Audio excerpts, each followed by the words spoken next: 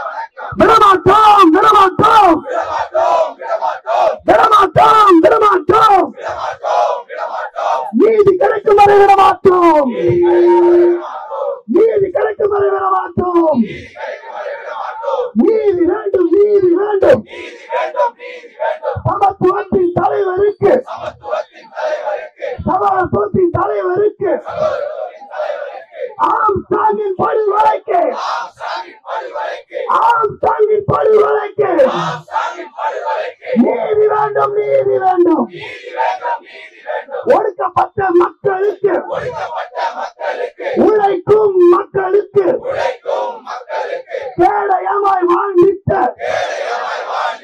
தலைவருக்கு வீர வணக்கம்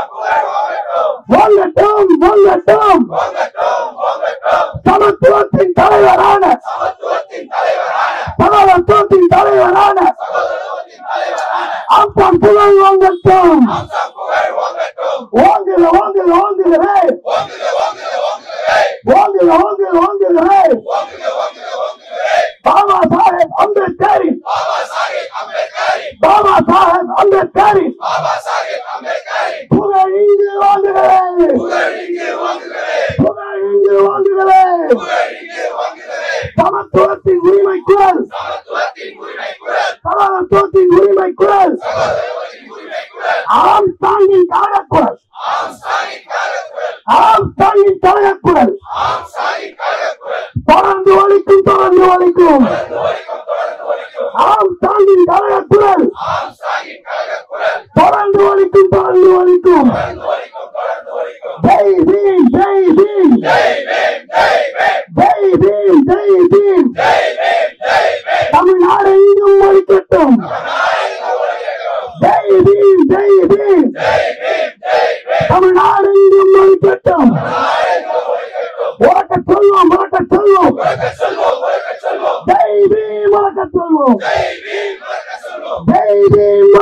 சொல்லுவோம். தெய்வீன் தெய்வீன் தெய்வீன் தெய்வீன் தெய்வீன் தெய்வீன் அன்பார்ந்த தோழர்களே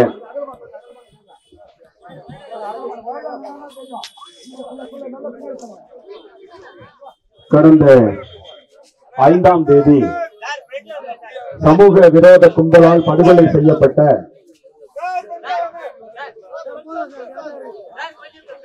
பிஎஸ்பி கட்சியினுடைய மாநில தலைவரும்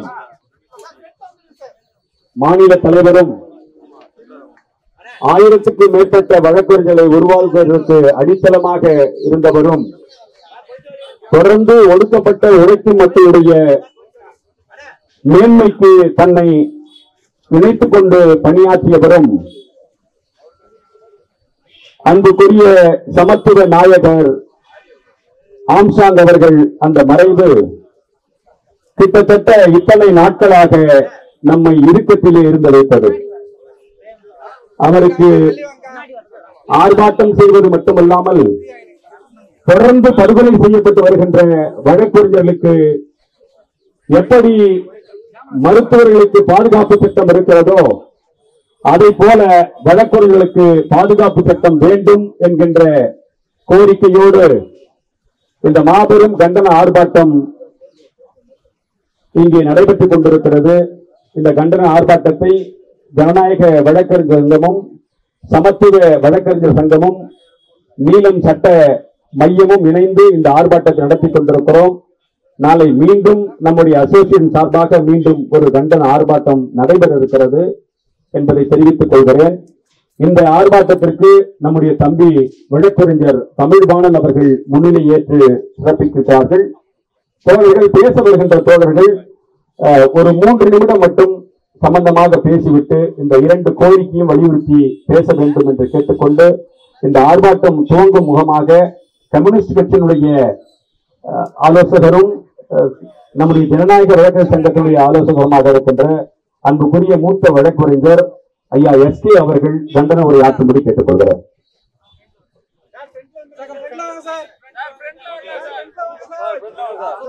ஓகே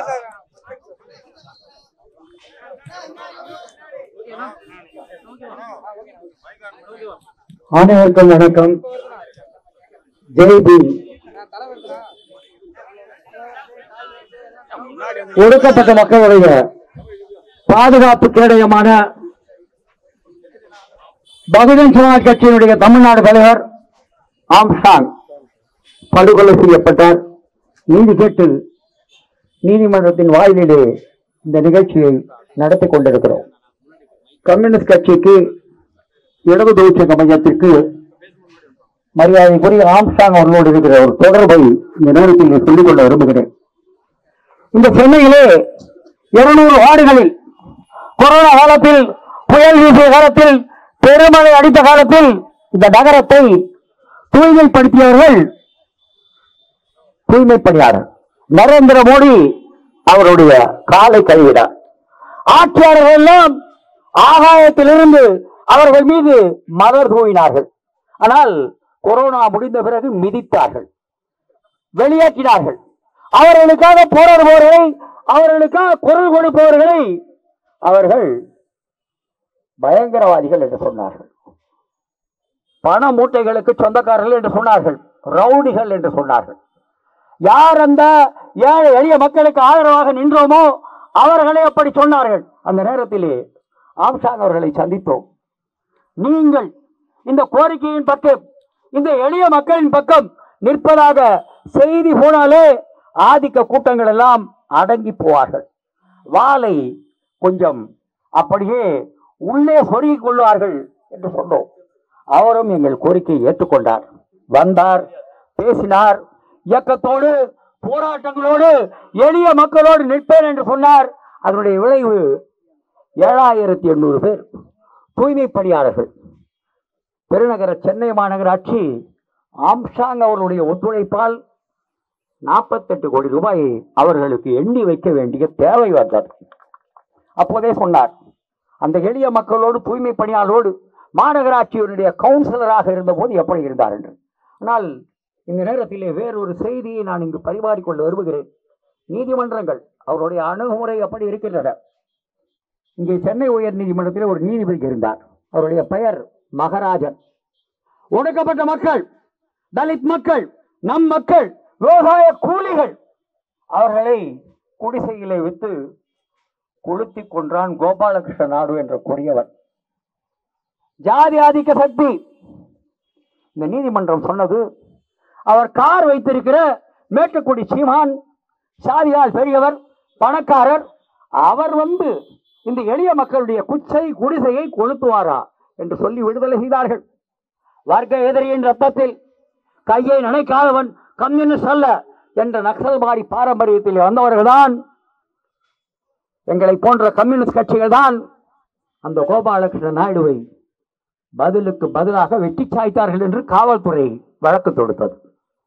இன்று நீதிபதிகள் சென்னை உயர் நீதிமன்றத்தில் இருக்கிற நீதிபதிகள் ஆந்திராவிலே படிப்பவர்கள் எல்லாம் மோசடி பேரொழிகள் என்கிறார்கள். ஆம்சா நாம் மறக்க முடியாது. எளிய மக்கள் சாமானிய மக்கள் ஒடுக்கப்பட்ட மக்கள் காலகாலமாக சூரியனை சுமந்த மக்கள் அந்த மக்கள் அம்பேத்கரை பார்க்கிறார்கள். அவர் அணிந்திருக்கிற கோட்டை பார்க்கிறார்கள். அவர் கையிலே இருக்கிற அந்த அரசியலமைப்பு சட்டத்தை பார்க்கிறார்கள். நான் வழக்கறிஞராக வேண்டும் என்று கனவு காண்கிறார்கள்.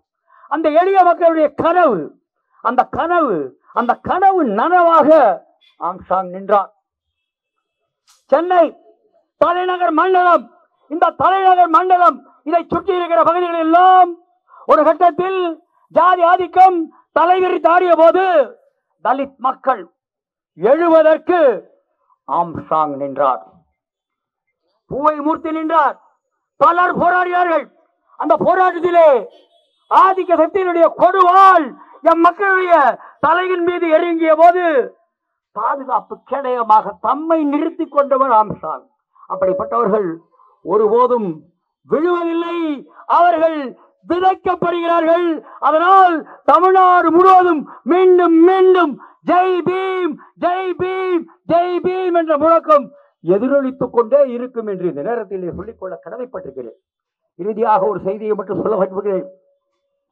என்ன சொல்லுகிறார்கள்?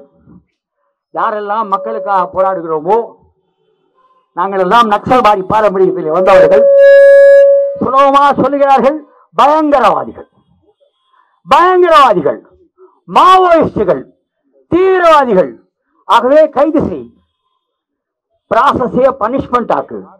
பெயில் தராது. யுஏபிஏ சட்டம் போடு. வெளியேற்று. இன்னொரு பக்கம் என்ன செய்கிறார்கள்? சிந்தனை அளவில். சமூகத்துடைய சிவில் சமூகத்துடைய சிந்தனை அளவிலே நம்மை ரவுடிகளாக சித்தரிக்கிறார்கள்.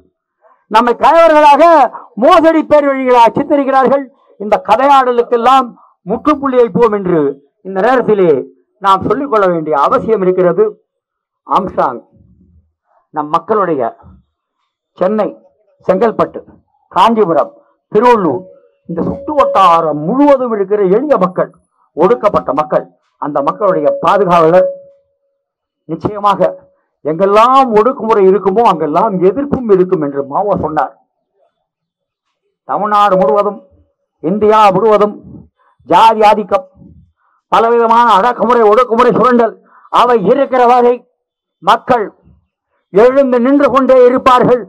ஆம்சாங்கள் ஆம்சாங்கனுடைய வாரிசுகள் ஆம்சாங்கனுடைய வழித்தோன்றல்கள் பிறந்து கொண்டே இருப்பார்கள் என்று இந்த நேரத்திலே சொல்லிக்கொண்டு ஜெய்வீம் என்று துவங்கிய நான் புரட்சி நூலொழி வாழ்க என்ற முழக்கத்தோடு என் உரையை முடித்துக் கொள்கிறேன். அடுத்ததாக சென்னை உயர்நீதிமன்ற வழக்கறிஞர் சங்கத்தின் சார்பில் அதனுடைய துணைத் தலைவர் அன்புக்குரிய அண்ணன் அவர்கள் இப்பொழுது கண்டன உரையாற்றார். அண்ணன் அறிவழகன் அவர்கள் கண்டன உரையாற்றார். தமிழக தமிழகத்திலே மட்டுமல்ல இந்தியாவை ஒழித்திருக்கக்கூடிய மிகப்பெரிய படுகொலையை செய்துவிட்டு வழக்கறிஞர் ஆம்ஸ்ட்ராங் அவர்கள் மீது ஒரு தவறான கருத்தை பரப்பி வருகிறார்கள். ஒரு பதிமூன்று ஆண்டுகளுக்கு முன்னால் நண்பர் ரஜினிகாந்த் அவர்கள் என்னை அழைத்துக் கொண்டு பெரம்பூரிலே உள்ள அவருடைய இல்லத்திற்கு அழைத்து சென்றார். முதன் முதலாக அப்போதுதான் எனக்கு அவர் பழக்கம். அதுவரை அவரை பற்றி நான் வைத்திருந்த பிம்பங்கள் எல்லாம் உடைந்து போனது. பல்வேறு வரலாறுகளை பல சரித்திர உண்மைகளை பல இலக்கிய வரலாறுகளை மறுத்து போன வரலாறுகளை எல்லாம் என்னிடத்திலே அவர் நீண்ட நேரம் பேசிக் கொண்டிருந்தார்.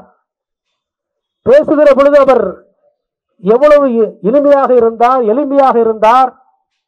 இவரை பற்றி இப்படி ஒரு பிம்பத்தை உருவாக்கி இருக்கிறார்களே என்று நான் ரஜினிகாந்த் அவர்களிடத்திலே பேசிக் கொண்டு வந்தேன். யாருக்கும் எந்த விதமான இடையூறும் செய்யாமல் எந்த சாதி இங்கே சொன்னார்கள்? ஒடுக்கப்பட்ட மக்களுக்காக மட்டும்தான் அவர் போராடினார் என்று. இல்லை. அங்கே சென்ற பொழுது அனைத்து சமூகத்தை சார்ந்த அனைத்து மதங்களை சார்ந்தவர்களும் அவருக்கு நண்பராக இருந்திருக்கிறார்கள். அவர்களுக்கான தேவையும் அவர் நடத்தி கொடுத்திருக்கிறார் முடித்து கொடுத்திருக்கிறார் என்று சொல்லுகிற பொழுது அவர் ஒடுக்கப்பட்ட மக்களுக்கு மாத்திரமல்ல இந்த நாட்டில் இருக்கக்கூடிய அனைத்து பிற்படுத்தப்பட்ட மிக பிற்படுத்தப்பட்ட மக்களுடைய அந்த மாணவர்களுடைய வழக்கறிஞர்களுடைய அன்பை பெற்றவர் அவர்களுக்கு தேவையான உதவிகளை செய்திருக்கிறார். அவற்றை நாம் மறக்க முடியாது.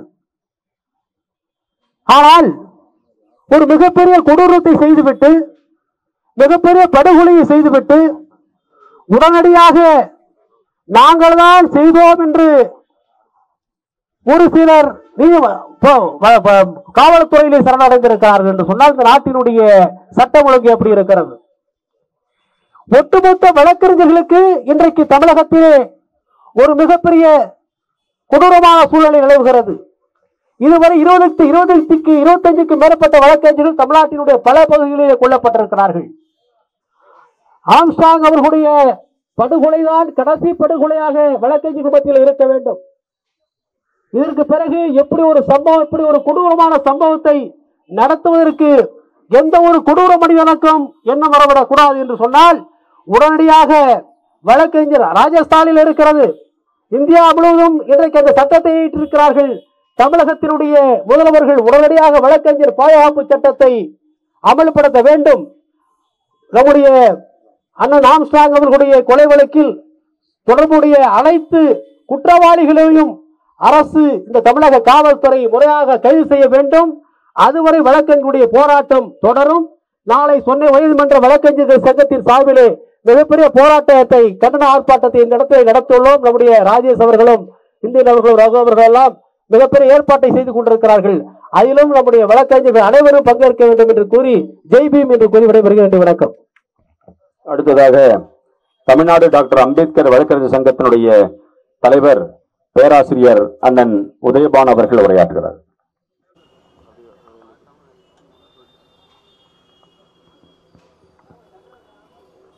அன்பார்ந்த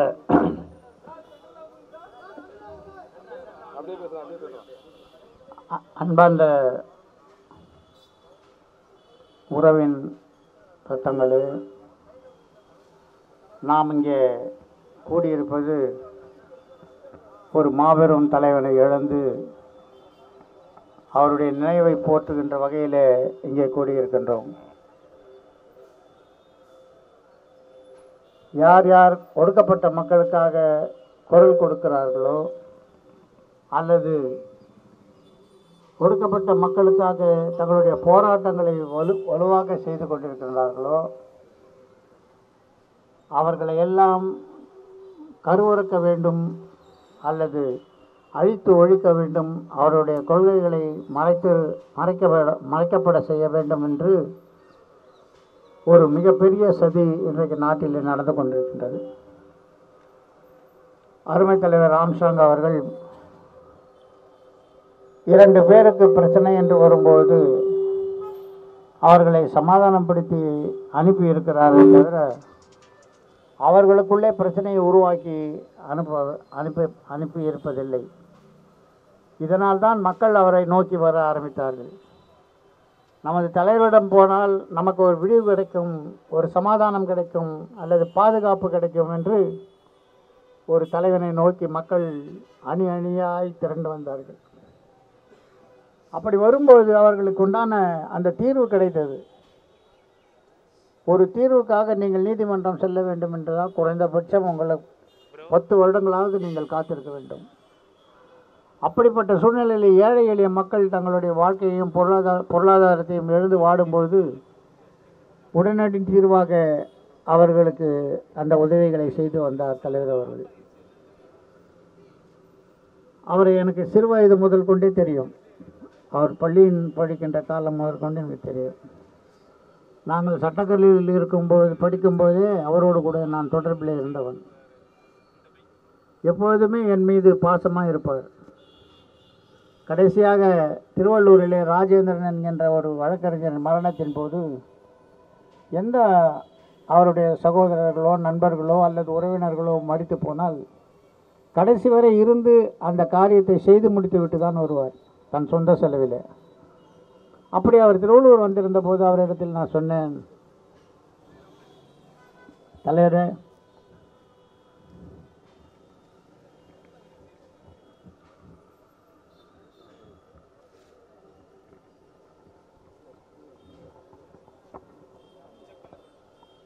எனக்கு நீங்கள் இப்படிப்பட்ட இறுதி மரியாதை செலுத்த வேண்டும் என்று கேட்டுக்கொண்டேன். ஆனால் அவருக்கு செய்ய வேண்டிய நேரம் இன்றைக்கு வந்து விட்டது இதை திட்டமிட்டது இதவர்கள் யார் என்று நமக்கு எல்லோருக்குமே தெரியும்.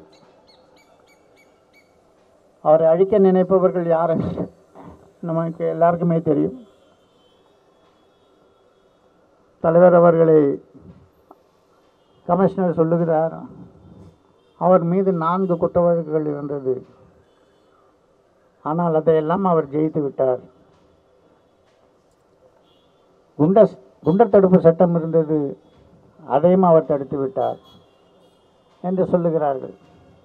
நடந்த குற்றத்திற்கு என்ன பதில் என்பதை சொல்வதற்கு பதிலாக மறித்து போனவரை குற்றவாளியாக காட்டுகின்ற வேலையில் கமிஷனர் ஈடுபட்டிருக்கிறார் என்று சொன்னால் அவர் யார் பக்கம் நிற்கிறார் என்பதை நீங்கள் புரிந்து கொள்ள வேண்டும். ஒரே ஒரு உதாரணத்தை நான் சொல்லி முடித்துக்கொள்ள ஆசைப்படுகிறேன். தேசப்பிதா மகாத்மா காந்தி அவர்கள் எத்தனை முறை சிறை சென்றிருப்பார் என்று உங்களுக்கு தெரியும். ஜவஹர்லால் நேரு அவர்கள் எத்தனை முறை சிறை சென்றிருப்பார்கள் என்று தெரியும். ஒருவரை சிறையில் அடைக்கும்போது வழக்கு பதிவு செய்யாமலா சிறையில் அடைப்பார்கள்? ஆனால் அவர்கள் காந் மகாத்மாவாகவும் அவர்கள் தேசப்பிதாவாகவும் மாறும்போது ஏழை எளிய மக்களுக்காக போராடிய வழக்குகள் இருக்கிறது என்று சொல்லக்கூடிய நம்ம தலைவர் அவர்களை குற்றவாளியாக சிரித்து சித்தரித்து கொண்டிருப்பது போலீஸினுடைய ஒரு சதியாகும். இதில் மிகப்பெரிய அளவு பெரிய பெரிய இடங்களில் இருந்தெல்லாம் ஆட்கள் வந்து இந்த காரியங்களை செய்து கொண்டிருக்கின்றார்கள். பொய்யான குற்றவாளிகளை அவர்கள் இங்கே நடமாட விட்டிருக்கிறார்கள் என்று சொல்லி பார்க்கும்போது இது ஒரு சாதாரண ஒரு வழக்குகளிலே நடக்கின்ற ஒரு செயலை போல காட்டுகிறார்கள். இவர் ஒரு தலைவர் ஒரு மா அனைத்திந்திய கட்சியினுடைய தலைவர். அப்படிப்பட்ட சூழ்நிலையில் அவரை ஒரு சாதாரண மனிதனாக ஒரு சாதாரண குற்றவாளியாக காட்ட வேண்டும் என்று காவல்துறை விரும்புகிறது. இதை நாம் முறிய முறியடித்தாக வேண்டும். நமது போராட்டம் தொடர்ந்தாக வேண்டும். சிபிஐ மூலமாக மட்டுமே இதற்கு ஒரு நல்ல தீர்வை நம்ம பெற முடியும் என்று நான் நினைக்கிறேன். ஏனென்றால் நமது காவல்துறை இதை விசாரிக்கின்ற அளவுக்கு தெம்பும் திராணியம் இருக்கிறதா என்பது சந்தேகமாக இருக்கிறது. எந்த அளவுக்கு இது இவ்வளோ தூரம் ஆழப்போய் மதுரை திண்டுக்கல் இப்படிப்பட்ட மாவட்டங்களெல்லாம் போய் அவர்கள் விசாரணையை தொடர வேண்டும் என்று சொன்னால் அது நம்ம க போலீஸ்னால அது நிச்சயமாக முடியாது. ஆகவே தான் சிபிஐ மூலமாக இந்த வழக்கை தொடர வேண்டும் இந்த வழக்கை சிபிஐக்கு மாற்றப்பட வேண்டும் என்பது எங்களுடைய மிகப்பெரிய கோரிக்கையாக இந்த நேரத்தில் இருந்து கொண்டிருக்கிறது. எனக்கு பேச வாய்ப்பளித்த அருமை சகோதரர் பார்வ பார்வேந்தன் அவர்களுக்கு எனது மனமார்ந்த நன்றியை தெரிவித்துக் கொள்கிறேன் தோழர்களை பேச வருபவர்கள் அருள் கொண்டு ஒரு இரண்டு நிமிடம் முன்னாக முற்போக்கு வழக்கறிஞர் சங்கத்தினுடைய ஒருங்கிணைப்பாளர் அன்பு தோழர் மார்க்ஸ் ரவீந்திரன் அவர்கள் கண்டன உரையாற்றுகிறார். நாம் இழந்த உரிமைகளை கெஞ்சுவதன் மூலமோ மண்டியிடுவதன் மூலமோ பெற முடியாது. இடைவிடாத போராட்டங்களின் மூலம் மட்டுமே பெற முடியும் என்ற புரட்சியாளர் அம்பேத்கர் அவர்களுடைய வார்த்தைகளுக்கு ஏற்ப சமத்துவ தலைவரின் படுகொலை நடந்து ஏழு நாட்கள் கடந்த பின்பும் சிபிஐக்கு மாற்றம் கோரியும் பல்வேறு கோரிக்கைகளை வலியுறுத்தியும் இந்த ஆர்ப்பாட்டம் நடைபெற்று கொண்டிருக்கிறது. படுகொலை நடந்து ஏழு நாட்கள் ஆகிறது. இதுவரை காவல்துறை எந்த சிறு நடவடிக்கையும் எடுக்கவில்லை. அப்பகுதியில் உள்ள சிசிடிவி எதனையும் இதுவரை கைப்பற்றவில்லை. கிட்டத்தட்ட நாற்பது நபர்கள் அந்த படுகொலையை நிகழ்த்தியிருக்கிறார்கள். ஆனால் திட்டமிடப்பட்டு எட்டு நபர்கள் காவல் நிலையத்தில் சரண்டர் ஆகியிருக்கிறார்கள். அவர்களை இதுவரை காவலில் எடுத்து விசாரிப்பதற்கு காவல்துறை எந்த முனைப்பும் காட்டவில்லை. இதுவரை விசாரணைக்கு எடுக்கப்படவில்லை. உண்மையான குற்றவாளிகள் யார் என்று இதுவரை காவல்துறையால் கண்டுபிடிக்கப்படவில்லை. மாறாக நாங்கள் காவல்துறை மீது நுண்ணறிவு பிரிவு மீது குற்றம் சாட்டி இருக்கிறோம். ஆனால் இன்று வரை ஏழு நாட்கள் கடந்த பின்பும் குறைந்தபட்சம் சிபிசிஐடி விசாரணைக்கு கூட மாற்றுவதற்கு இந்த அரசு தயாராக இல்லை. எந்த காவல்துறையை குற்றம் சாட்டி நாங்கள் போராட்டம் நடத்தி கொண்டிருக்கிறோமோ அதே காவல்துறையை வைத்து இன்று வரை விசாரணை நடத்தி கொண்டிருக்கிறது. காவல்துறைக்கு இந்த வழக்கில் தொடர்பு இருக்கிறது. கிட்டத்தட்ட இரண்டாயிரத்தி ஏழாம் ஆண்டு முதல் நாங்கள் சமத்துவ தலைவரோடு பயணித்துக் கொண்டிருக்கிறோம். கல்லூரி காலம் முதல் எங்களை அரவணைத்து இன்றைக்கு நாங்கள் வழக்கறிஞர்களாக இருக்கிறோம் என்று சொன்னால் அது அண்ணன் ஆம்சாங் அவர்களுடைய அரவணைப்பு அவர் அவருடைய உதவி அவர் எங்களை எங்கள் அரண் போல் காத்து இந்த அளவுக்கு உருவாக்கி இருக்கிறார் ஆனால் அரசு அவருடைய படுகொலைக்கான உண்மை குற்றவாளிகளை கைது செய்யாமல் அவர் ஒரு மிகப்பெரிய ரவுடி என்ற ஒரு பொய்யான பிம்பத்தை சித்தரித்துக் கொண்டிருக்கிறது. நாங்கள் இந்த அரசுக்கு ஒன்றை சொல்லுகிறோம். உச்ச நீதிமன்றத்தினுடைய நீதிபதிக்கு எவ்வளவு அரசியலமைப்பு சட்ட அறிவு இருக்கிறதோ அதை விட அதிகமான அரசியலமைப்பு சட்ட அறிவை பெற்றவர் தான் எங்கள் சமத்துவ தலைவர் அவர்கள். அவருடைய அலுவலகத்திற்கு சென்றால் முதலில் வரவேற்பது அரசியலமைப்பு சட்ட புத்தகம்தான்.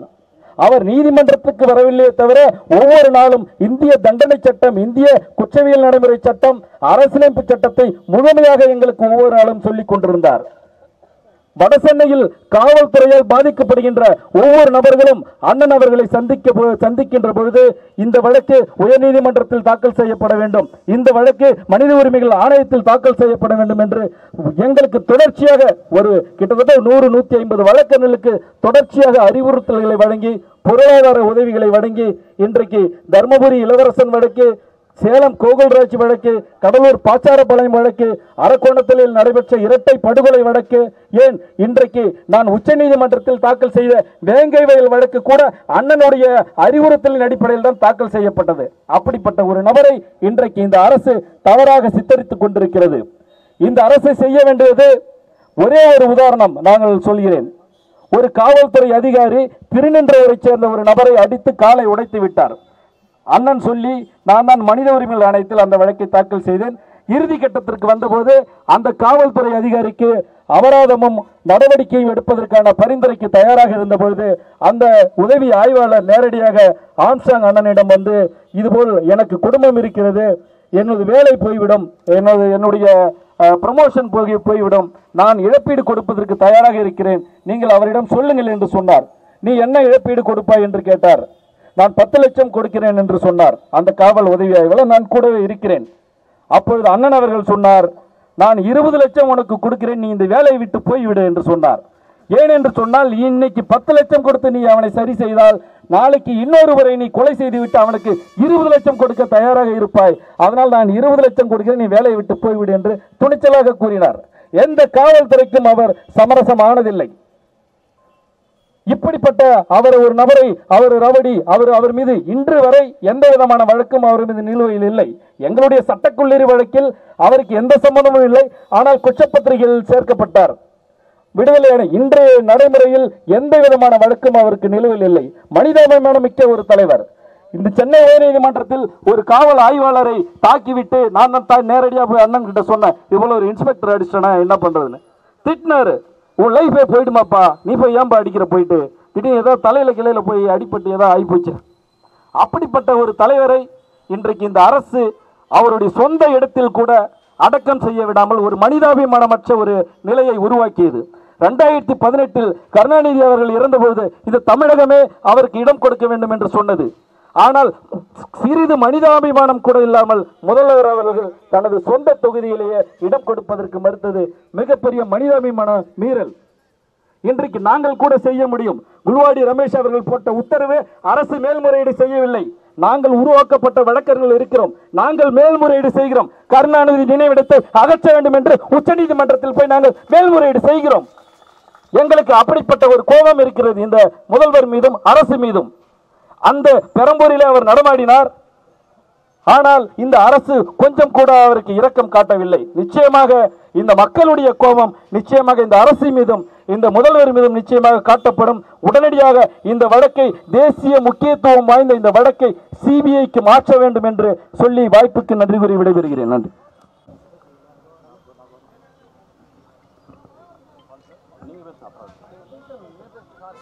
அன்புக்குரிய தோழர் மில்டன் ஜிம்ராஜ் மில்டன் அவர்கள் தங்களுடைய கண்டனத்தை பதிவு செய்கிறார்.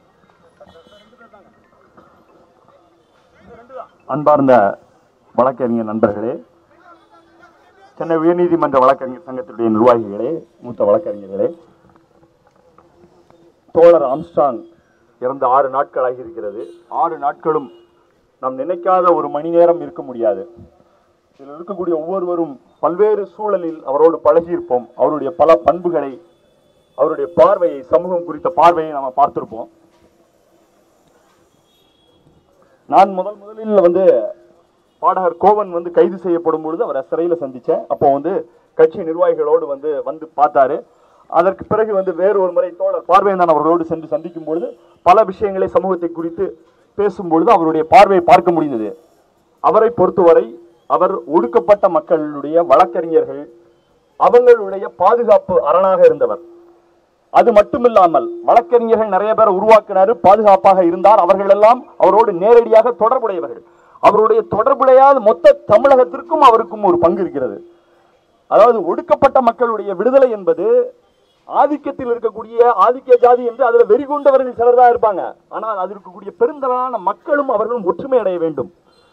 பின் பிற்படுத்தப்பட்ட மக்களும் ஒடுக்கப்பட்ட மக்களும் ஒற்றுமை அடைய வேண்டும் என்ற பார்வையை கொண்டிருந்தவர். இது டாக்டர் பாபா சாஹேப் அம்பேத்கருடைய பார்வை. இந்தியாவை வழிநடத்தக்கூடிய பார்வை இது. இந்தியாவை அடுத்த கட்டத்திற்கு கொண்டு போக வேண்டும் என்றால் ஒடுக்கப்பட்ட அனைத்து மக்களும் இன்று பட்டியல பட்டியலின மக்கள் மட்டும் இல்லாமல் பிற்படுத்தப்பட்ட மக்கள் இஸ்லாமிய பெருங்குடி மக்கள் எல்லாரும் ஒற்றுமையாக இருக்க வேண்டும் என்ற ஒரு பரந்த பார்வை கொண்டவர். பல பிரச்சனை இந்த சமூகத்தில் தலைவர்கள் பல்வேறு தளங்களில் உருவாவார்கள் பல்வேறு வடிவங்களில் உருவாவார்கள். இதை பற்றிய பார்வையோ இந்த சமூகத்தை பற்றிய பார்வையோ சமூகத்தில் ஒடுக்கப்பட்ட மக்களுடைய பார்வையோ அதிலிருந்து ஒரு தலைவன் எப்படி எழும்பி வருவான் என்ற பார்வை இல்லாத சமூகத்தின் மீது அக்கறை இல்லாத ஒரு இன்டர்நெட்டில் மட்டும் இருக்கக்கூடிய சில பொறுக்கிகள் அவரை ரவுடிகள்னு சொல்கிறாங்க நாமே அதை பொருட்படுத்த வேண்டிய அவசியம் இல்லை. ஆனால் அப்படிப்பட்ட அந்த பார்வை என்பது எனது வேதனை அளிக்கிறது என்றால் அந்த பார்வை ஆட்சி அதிகாரத்தில் இருக்கக்கூடிய தலைமையில் இருப்பவர்கள் வரைக்கும் பிரதிபலிக்கிறது. அதுதான் வேதனை அளிக்கிறது. அப்படிப்பட்ட பிரதிபலிப்பு அது இருந்தால் அதை நோண்டி அந்த முள்ளை வந்து நோண்டி எடுக்க வேண்டிய பொறுப்பு சமூகத்தில் உள்ள அக்கறை உள்ள நமக்கு இருக்கிறது. நாம் அதில் இந்த போராட்டம் மட்டுமில்லாமல் இதற்கான அனைத்து வழிகளையும் இது முறையான விசாரணை நடத்தப்பட வேண்டும். உண்மையான குற்றவாளிகள் கண்டுபிடிக்க வேண்டும். என தொடர்ந்து அவரோடு இருந்தவர்கள் இதில் எப்படி விசாரணை பிரச்சனை இருக்கிறது என்பதை சுட்டி காட்டுகிறார்கள் அப்படி சுட்டி காட்டும் பொழுது அந்த விசாரணை அதி இல்லைன்னா திடீரென்று கமிஷனர் மாற்றப்படுகிறார் திடீரென்று அது நாள் வரைக்கும் போய் இங்கே தான் வந்து போஸ்ட்மார்ட்டம் நடக்குது. இங்கே எல்லா தலைவர்களும் வந்து பார்க்குறாங்க. பள்ளிக்கூடத்தில் வச்சுருந்தாங்க. அடுத்த நாள் முதலமைச்சர் போய் பார்க்குறாரு. எதையோ ஆஃப் பண்ணுறதுக்கான முயற்சி செய்வதாக சந்தேகம் வந்து சந்தேகம் இருக்கிறது. அப்போ அந்த சந்தேகத்தை நிவர்த்தி செய்ய வேண்டும் இல்லையென்றால் அவர் இது உண்மையான குற்றவாளிகள் தண்டிக்கப்படும் வரை அவர்கள் கூண்டில் ஏற்றும் வரை நாம விட தோழர் ஆம்ஸ்டாங்குடைய நினைவு அவருடைய பங்களிப்பு இந்த சமூகத்துக்கு நாம் எடுத்து செல்ல வேண்டும். பெரும்பான்மையான மக்கள் பெரும்பான்மையான மக்கள் அதை புரிந்து வைத்திருக்கிறார்கள். அவர்கள் எந்த பின்னணியில் இருந்து வந்தாலும் சரி இப்படி ஒரு பங்களிப்பு செய்யக்கூடிய தலைவரா இவ்வளவு மென்மையாக பேசக்கூடியவரா இப்படி பார்வை உள்ளவரா இப்படி எல்லோரையும் சகோதரத்துவமாக கொண்டு போகக்கூடியவரா இதை நாமும் எல்லா மக்களுக்கும் கொண்டு சேர்க்க வேண்டிய கடமையும் இருக்கிறது. இன்னும் அவருடைய அவர் விதை விதைக்கப்பட்டிருக்கிறார். நூற்றுக்கணக்கான ஆம்ஸ்டாங்கள் உருவாக வேண்டும். இதே சென்னை மண்ணில் உருவாக வேண்டும் என்று கூறி விடைபெறுகிறேன். நன்றி வணக்கம். இந்திய அம்பேத்கர் வழக்கறிஞர் சங்கத்தினுடைய தலைவர் அன்பு தோழர் வசந்தராமன் அவர்கள். ஜெய் பீம். எல்லோருக்கும் அவரை பற்றி சகோதரத்துவமாக தான் தெரியும். அவர் எங்களுக்கு வந்து ரிலேஷன் குடும்பம். நாற்பத்தி நாலு ஆண்டுகள் அவரோட பயணித்திருக்கிறேன் ஒரு மிகப்பெரிய ஃபுட்பால் பிளேயர் அவர். அதை காட்டிலும் ஒரு முக்கியமான விஷயம் என்ன அப்படின்னீங்கன்னா டாக்டர் பாபா சாஹ் அம்பேத்கர் வந்து புத்தர்கிட்ட இருந்து தான் வந்து இந்த சட்டத்தை எல்லாத்தையும் வாங்கியிருக்கார். ஆனால் புத்தரையும் டாக்டர் பாபா சாஹ் அம்பேத்கரையும் முழுசாக மனசுக்குள்ளே வாங்கி உள்வாங்கி எங்களெல்லாம் வழி நடத்தும் டாக்டர் திரு ஆம்ஸ்டாங் அவர்கள். அந்த பிளாட்ஃபார்ம் யாரோடது அப்படின்னா பூவை அண்ணனோடது. இது எல்லாரும் மறந்துடுறோம். பூவை அண்ணா அமைச்சு கொடுத்த அந்த பிளாட்ஃபார்மில் தான் என்னுடைய சகோதரன் அதில் வந்து வாக் பண்ணி எங்களெல்லாம் வழி நடத்தி கொண்டு வந்திருக்காரு. இதை வந்து அவருக்கு தப்பாக ஒரு இப்போ கூட வந்து கமிஷன் ஆஃபீஸில் ஒரு கம்ப்ளைண்ட் கொடுத்து போனோம். அந்த கம்ப்ளைண்ட் விஷயம் பார்த்தீங்க அப்படின்னீங்கன்னா ரொம்ப வேதனையாக இருக்குது. அவர் ரவுடிங்கிறான் அந்த பிரகாஷ் அந்த அந்த ரமேஷனோட யாருனே எங்களுக்கு பெரம்பூரில் தெரியாது. அவர் உதயபானன்னு சொன்ன மாதிரி அவர் யாருனே எங்களுக்கு தெரியாது. அவர் வந்து ரவுடிங்கிறான் என்னென்னமோ பட்டத்தை கட்டுறான். அதை காட்டிலும் அவர் பொதுமக்களுக்கு எவ்வளோ செஞ்சுருக்காருன்னு யாருன்னா அங்கே இருக்க பகுதி மக்கள் எல்லாருக்கும் தெரியும். ஈவன் சார் சொன்ன மாதிரி சிறுபான்மை மக்களை கேளுங்க. ஒரு சின்ன விஷயம்னா வேலையை முடிக்காமல் அந்த இடத்த விட்டு நகரவே மாட்டார். எல்லாரும் கலைஞ்சு போயிடுவோம். ஆனால் அந்த ஒரு ஜீவன் மட்டும் அங்கேயே தான் இருக்கும். அந்த எடுத்த வேலையை முடிக்கணும் முடிக்கணும் முடிக்கணும் இதை தான் அறிவுறுத்துவார். அதே மாதிரி இன்னொரு விஷயம் என்ன சொல்கிறீங்கன்னா இந்த சட்டத்துக்கு எதிரானவர் அவர் அல்ல. எந்த ஒரு விஷயமா தானே நீ நீதிமன்றத்தை அப்ரோச் பண்ணு. நீ வழக்கு போடு. நீ இப்படி செய் அப்படி செய்யணும் தான் அறிவுறுத்துவார். இந்த நேரம் நீ போய் அவனை அடி இவட போய் புடி இந்த மாதிரி சொன்னதே கிடையாது. இது நெருங்கிய நண்பர் திரு மார்க்ஸுக்கும் தெரியும். இந்த மாதிரி ஒரு சின்ன விஷயத்தை வந்து தவறாக சித்தரிச்சிட்டு இருக்காங்க. டெய்லி ஒரு ஒரு நியூஸ் கொடுத்துருக்கான். அவெல்லாம் எவ்வளோ கைகூலியாக இருப்பான்னு எனக்கே ரொம்ப வருத்தமாக இருக்கிறது. நெருங்கியவர்கள்னு சொல்லிட்டு ஒரு பெரிய சர்க்கிளே அவர் கூட இருக்குது அந்த ஒரு சர்க்கிள் கிட்டே கேட்காம அவர் இஷ்டம் போல பேட்டி கொடுக்குறாங்க. என்னென்னமோ பேசுகிறானுங்க ஆனால் ஆம்ஸ்ட்ராங் புதைக்கப்படவில்லை விதைக்கப்பட்டு இருக்கிறார் அது ஆழமரமாக்குவது நம்முடைய கற்பர் குற்றமால மட்டும்தான் முடியும் ஸோ இதுக்கு வந்து நீதி பெறணும். நீதி உண்மையான குற்றவாளிகளை கைது செய்து இது கண்டிப்பாக தண்டிக்கப்பட வேண்டும். இந்த வழக்கு சிபிஐக்கு மாற்றணும் அப்படின்னு சொல்லிட்டு பொதுவாக ஒரு கருத்து வச்சிருக்கோம். அந்த கருத்தை வலியுறுத்தி மேற்கொண்டு நம்ம கற்பர் குற்றம் எல்லாமே ஆர்ப்பாட்டம் மூலியமாக தான் நம்ம இதை வந்து செயலாற்ற முடியும் என்று எமக்கு வாய்ப்பளித்தமைக்கு நன்றி கூறுகிறேன். அடுத்ததான் நம்முடைய மூத்த வழக்கறிஞரும் தொடர்ந்து நம்மோடு களத்திலே நின்று கொண்டிருக்கின்ற அன்புக்குரிய அண்ணன் பால் கனகராஜ் அவர்கள் கண்டன உரை ஆற்றும்படி கேட்டுக்கொள்கிறேன்.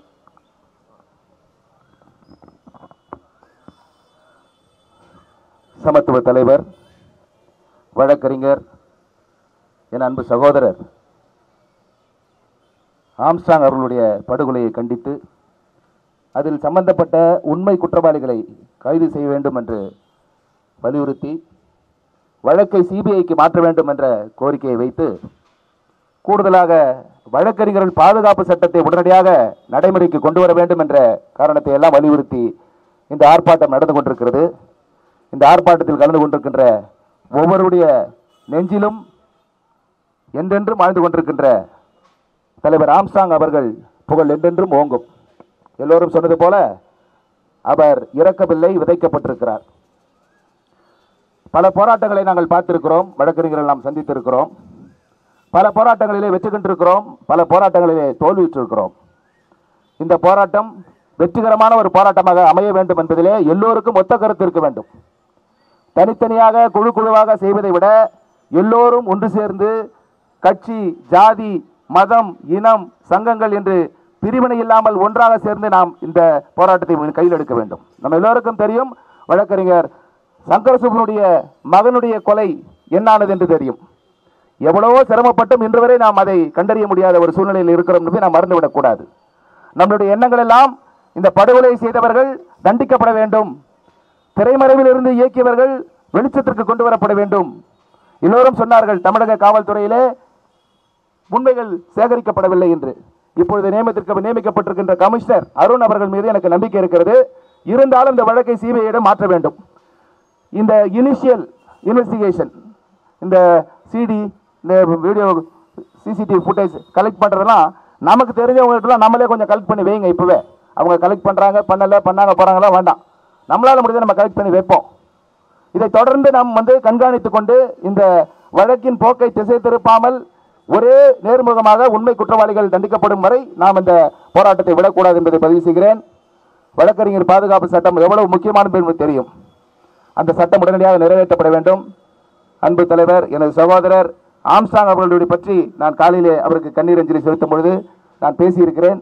நேரம் குறைவாக இருப்பதனால் ஒரே ஒரு கருத்தை சொல்ல அனுப்பப்பட்டிருக்கிறேன் மிக மிக அன்பானவர் ஜாதி மதம் மொழி பார்க்காதவர். எனக்கு நல்லா தெரியும்.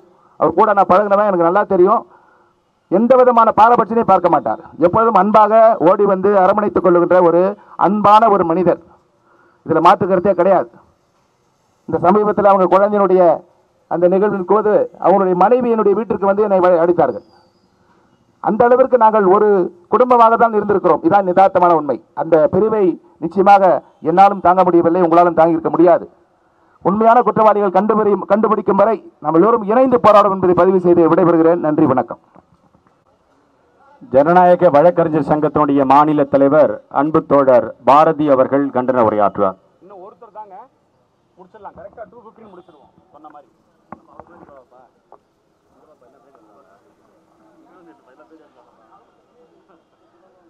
பிஎஸ்பியினுடைய தமிழ்நாடு தலைவர் மரியாதைக்குரிய கே. ஆம்ஸ்டாகருடைய படுகொலைக்கு நீதி கேட்டு நடைபெறக்கூடிய இந்த ஆர்ப்பாட்டத்திலே கலந்திருக்கக்கூடிய வழக்கறிஞர் சங்க தலைவர்களே எண்ணற்ற தோழர்களே இங்கே எனக்கு தெரிஞ்சு ரெண்டாயிரத்தி மூணுலேருந்து பல்வேறு ஆர்ப்பாட்டங்கள் போராட்டங்கள் கலந்துருக்கோம்.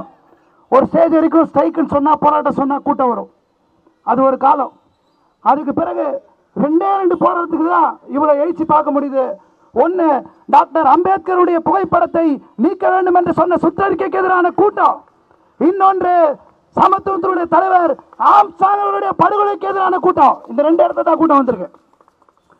எனக்கு தெரிஞ்சு தமிழ்நாடு பார் கவுன்சில் ஒன்று இருக்குன்னா அந்த தமிழ்நாடு பார் கவுன்சில்ல முதல் ஓட்டா விழுந்து அது முதல் நபர் அடையிறார்னா அது ஆம்சாங்கிறவர்கள் யாரு கை நீட்டாரோ அவர்களுக்கு தான் முதல் வாக்கு விடும் வழக்கறிஞர் மத்தியில் செல்வாக்கு வச்சிருந்தார்.